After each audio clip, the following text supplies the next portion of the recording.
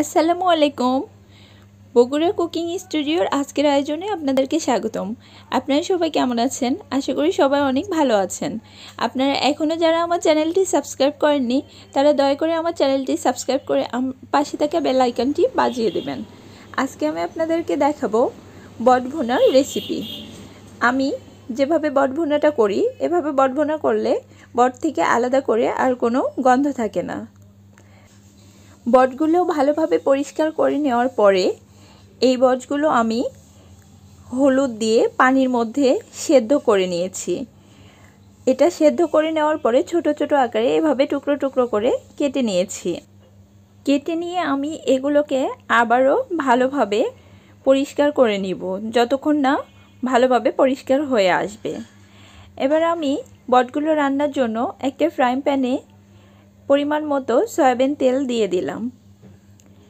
এবার আমি এর মধ্যে দিয়ে দিচ্ছি একটা তেজপাতা মাঝখান দিয়ে ছিঁড়ে নিয়েছি। দিয়ে দিচ্ছি দুই টুকরো দারুচিনি।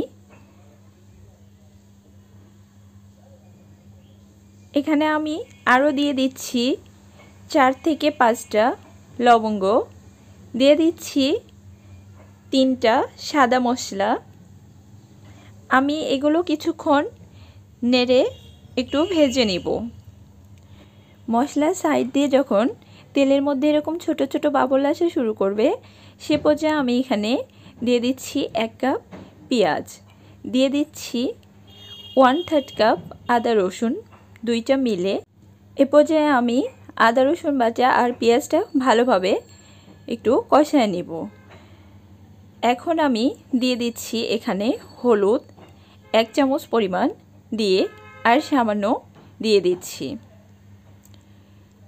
দিয়ে দিচ্ছি আদা, রসুন বাটা আরও ওয়ান থার্ড কাপ আমার কাছে আদা, রসুন বাটাটা একটু কম মনে হয়েছে। দিয়ে দিলাম লাল মরিচের গুঁড়া এক চামচ দিয়ে আর সামান্য। এখানে ঝালের পরিমাণটা নিজেদের পছন্দ অনুযায়ী কমিয়ে বাড়িয়ে দেবেন। কেউ যদি ঝাল বেশি খেতে পছন্দ করেন, তাহলে ঝালের পরিমাণটা আর একটু বাড়িয়ে দিবেন। এ পর্যায়ে এখন আমি সব মশলা ভালোভাবে কষিয়ে নিব, যেন মশলা থেকে কাঁচা গন্ধ না থাকে। মশলাগুলো যখন এরকম কষানোর পরে ওপরে তেল ভেসে আসবে, সে পর্যায়ে আমি মশলাতে কিছুটা পানি অ্যাড করে দিব। পানি দিয়ে এই মশলাটা আমি আরও কিছুক্ষণ এভাবে কষিয়ে নিব। যখন পানিটা এরকম শুকিয়ে ওপরে তেল চলে আসবে, সে পর্যায়ে আমি এখানে বটগুলো দিয়ে দিব। এবার আমি সবগুলো বট একসাথে দিয়ে দিচ্ছি। বটগুলো দিয়ে আমি ভালোভাবে মশলার সাথে বটগুলো কষিয়ে নিব। এই পর্যায়ে আমি চুলার আঁচটা মিডিয়াম দিয়ে আমি বটগুলোকে ভালোভাবে কষাতে থাকব। অনেক সময় নিয়ে আমি বটটা কষিয়ে নিব। এখানে যতটা সময় নিয়ে কষানো যাবে, রান্নাটা ততটাই ভালো হবে। আর আলাদা করে গন্ধটাও থাকবে না। এখানে এই যে এক পর্যায়ে দেখেন, আমি কোনো পানি অ্যাড করিনি, এমনিতেই পানি বের হয়েছে। এই পানিটা যতক্ষণ না শুকিয়ে আসবে, ততক্ষণ পর্যন্ত আমি রান্না করতে থাকব।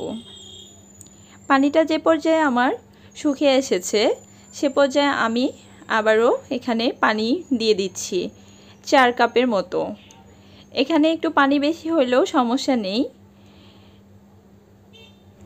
এখানে আমি পানি দিয়ে রান্না হওয়ার জন্য একটা ঢাকনা দিয়ে এ পর্যায়ে আমি ঢেকে দিচ্ছি। মাঝে মাঝে আমি ঢাকনা খুলে নেড়ে চেড়ে দিব, যেন নিচে না লেগে যায়। এ পর্যায়ে যতক্ষণ না এই পানিটা শুকিয়ে আসছে, ততক্ষণ পর্যন্ত আমি এভাবে মাঝে মাঝে নেড়ে নেড়ে দিব।